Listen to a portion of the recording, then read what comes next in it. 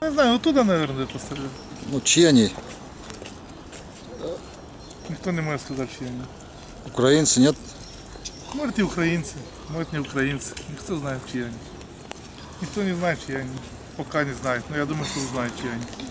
Стреляли во время трагических событий на Майдане отсюда, с верхних этажей здания гостиницы Украины и Октябрьского дворца, исторического здания, которое в последнее время служило для различных спортивных и массовых мероприятий. Сегодня на главной площади страны непрекращающийся поток людей, которые приходят, чтобы запечатлеть в своей памяти подвиг Небесной Сотни, принести цветы и свечи. Киевляне даже вывесили тут самодельный указатель с новым народным названием улицы. В воздухе витает вопрос, на который российская пропаганда дала свой ответ. Впрочем, версию Москвы в Киеве не верят. Говорят, что это тот случай, когда на варе шапка горит. На вопрос, кто стрелял в майдановцев в конце февраля, здесь отвечают одинаково. Сложно однозначно сказать, потому что мнения меняются ну, вот, буквально там каждый день.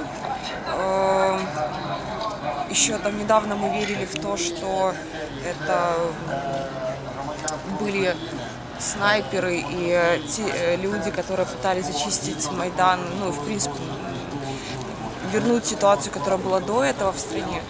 Э, На сегодняшний день, к сожалению, закрадывается мысль о том, что здесь помогали и работали русские солдаты, люди из России. Все с подачи России. Если бы не Россия, этого бы не было. Янукович поддержка только россиян. Это мое личное мнение. У каждого это мнение индивидуально. Не было бы этого. Смотрите, что сейчас делается с Крымом. Ну, благодаря мирному населению украинский народ застоял свое. Вы посмотрите, что делается. После этого люди приходят сюда. Просто так смотреть нельзя. Все со слезами, все на нервах. Просто пережить очень-очень тяжело. Каждый раз ходила на Майдан поддержать. Извините. Не оппозиция и не те люди, которые делали революцию. Конечно, власть. Українці. Спецслужби, спецслужби, які були наняті і прислані сюди з Росії. Це вся інформація, яку ми знаємо із телебачення, і так це все ми. Бо свої не будуть стріляти. Вони українці же. Хто любить свій народ, то стріляти не буде в нього. Пока все. Я думаю, тут без руки Москвы не обошлось. Информация такая. Внимательно к улице Грушевского.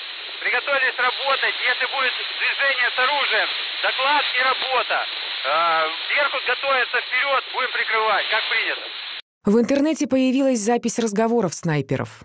Судя по ним, они координировали свои действия с отрядами «Беркута», а значит, действовали в интересах Януковича. Сейчас полным ходом идет расследование, которое должно установить точно, кто отдавал приказ снайперам вести огонь на поражение. По информации активистов Майдана, один из снайперов был взят в плен. И сейчас выясняются подробности событий 18-20 февраля. Устанавливаются личности виновных в убийствах.